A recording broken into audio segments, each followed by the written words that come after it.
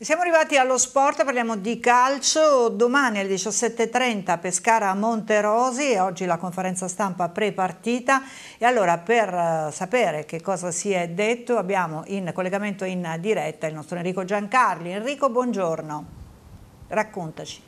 Sì, buon pomeriggio Marina, in diretta dall'EKK Hotel, terminata da poco la conferenza stampa del tecnico biancazzurro Alberto Colombo in vista del match di domani, fischio d'inizio alle 17.30, Stadio Adriatico, arriverà il Monterosi ed è stata una conferenza stampa particolare perché è iniziata con il bollettino medico che ha riguardato proprio il tecnico biancazzurro che si è presentato con due vistosi cerotti, uno al collo, uno all'orecchio, spiegherà tra poco lui cosa è successo. Sulla squadra eh, non ci sarà Edoardo Vergani, non convocato per il problema alla schiena, Prima convocazione per Aloi per riassaporare, un po' come è successo per Crecco a Foggia, il, il sapore del gruppo e della partita, ma ancora non è pronto per giocare. Cupone partirà dalla panchina, ballottaggio in mediana tra eh, Kraja e Palmiero, ballottaggio in attacco dove Tupta, Desogus e Colai si contenderanno due maglie al fianco del confermato eh, Facundo Lescano. Cosa è successo al tecnico Colombo? I dettagli eh, sulle anticipazioni sulla partita di domani li ascoltiamo nei passaggi salienti della conferenza stampa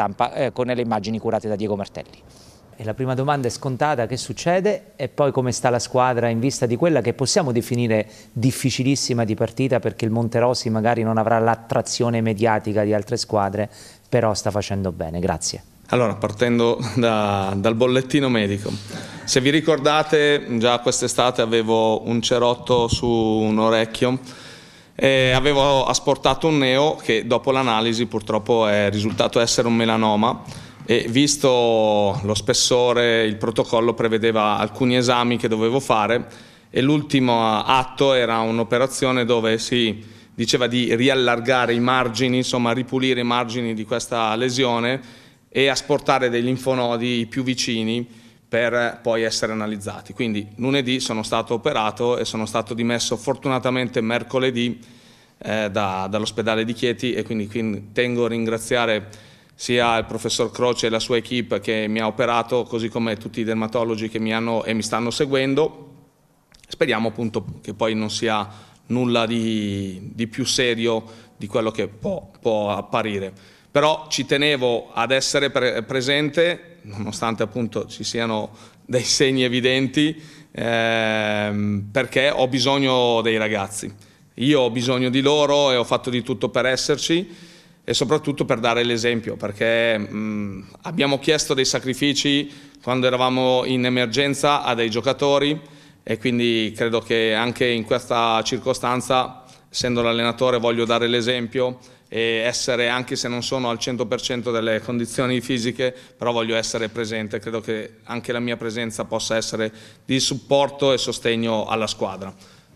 Al di là di questo, parliamo di, di Monterosi. Come hai detto bene tu Enrico, è una squadra che sta facendo bene, è una squadra di categoria con giocatori importanti, eh, mixati a dei giovani che già l'anno scorso hanno fatto un girone e mezzo di ritorno ottimo, cioè il girone di ritorno più una parte del girone d'andata a buoni livelli, tant'è vero che centrarono l'accesso ai playoff. È una squadra che alterna pressione a fasi di attesa perché sa quello che vuole, sa quello che deve fare e quindi il pericolo è che l'aver fatto una grandissima prestazione a Foggia ci dia quell'euforismo eh, che, che, venga scambiato, come dicevo, per, eh, per, entusiasmo nel senso negativo, perché ormai quello che è stato fatto a Foggia va nel dimenticatoio. Quello che è importante è quello che dobbiamo andare a fare e lo dobbiamo fare al meglio di noi stessi, visto che abbiamo di fronte un avversario che a differenza del Foggia, che magari ha delle doti tecniche qualitative generali superiori a molte squadre, ma magari aveva, veniva da un periodo di risultati negativi dove le incertezze potevano affiorare nel, nei giocatori. Qui non troviamo una squadra di questo genere, qui troviamo una squadra che sa il proprio valore, sa quello che deve fare, sa come sta e ha delle certezze. Quindi sarà una gara molto molto complicata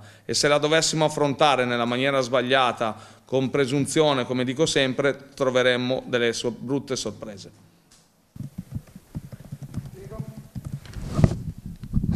Vado io con l'ultima, poi lascio il microfono ai colleghi. Dal punto di vista della squadra, quanti sono e se ci sono dei dubbi? Cuppone lo possiamo dire partirà dalla panchina dopo l'infortunio di Foggia e se ci può dare qualche indicazione sulla lettura tattica della partita, grazie. Ma allora, eh, come dicevo, innanzitutto Cuppone è un, eh, un giocatore straordinario sotto questo aspetto, nel senso che ha fatto di tutto nonostante l'infortunio, nonostante abbia delle eh, tumefazioni in volto e delle difficoltà magari nella prima, soprattutto nella prima parte della settimana nel poter fare allenamento ha stretto i denti e ha fatto di tutto per esserci. Quindi domani comunque sarà della, della partita inteso come eh, disponibilità. E questo non fa altro che aumentare eh, i motivi di, di, orgoglio di avere un gruppo del genere. Eh, i dubbi sono tanti i dubbi sono tanti perché le letture possono essere differenti sotto il piano tattico. Mm, ho visto il, eh, il Monterosi che sa alternare, come dicevo prima, momenti magari di fase di attesa a momenti di pressione più alta. È una squadra che in alcuni elementi ha una gamba importante per le ripartenze, quindi se noi dovessimo forzare delle giocate, se dovessimo sbagliare ehm, anche nelle mm, letture preventive, rischieremmo di, di subire delle transizioni eh, che possono farci male. Ecco perché eh, a volte uno può pensare un giocatore piuttosto che un altro in alcuni frangenti. Eh, un esempio potrebbe essere Palmiero o Kraja.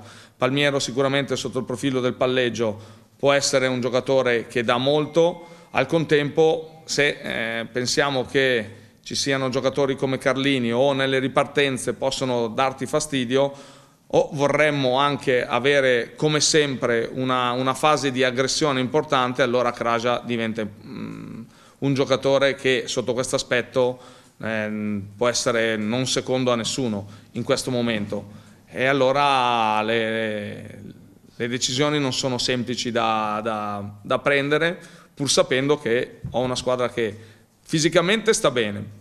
L'importante ripeto, l'importante è che stia sul pezzo e che non faccia un errore di sottovalutare un avversario come il Monterosi, come ce ne sono tante altre, ma se dovessimo fare questo eh, errore sarebbe un gravissimo errore di eh, non capire che questo è un momento fondamentale per la nostra crescita. Io non guardo classifica, non guardo obiettivi, guardo di giornata in giornata e oggi è il momento di dimostrare che anche sotto questo aspetto la squadra sta maturando e sta o può diventare una grande squadra, quella di non cadere in questi errori di sottovalutazione semplicemente perché tu arrivi da una grande prestazione con una squadra che eh, sulla carta doveva, deve recitare e reciterà sicuramente un campionato importante, cioè il Foggia, e solo perché hai fatto bene e affronti una squadra che non ti dà gli stimoli solo sotto il nome, non sotto l'organizzazione e la qualità, tu possa cadere in questo errore. Non lo accetto e non lo voglio nemmeno vedere, quindi su questo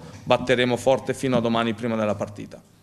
Queste dunque Marina le parole del tecnico biancazzurro Alberto Colombo a cui facciamo naturalmente un grande in bocca al lupo di pronta guarigione, se non ci sono domande da studio io ti restituirei la linea.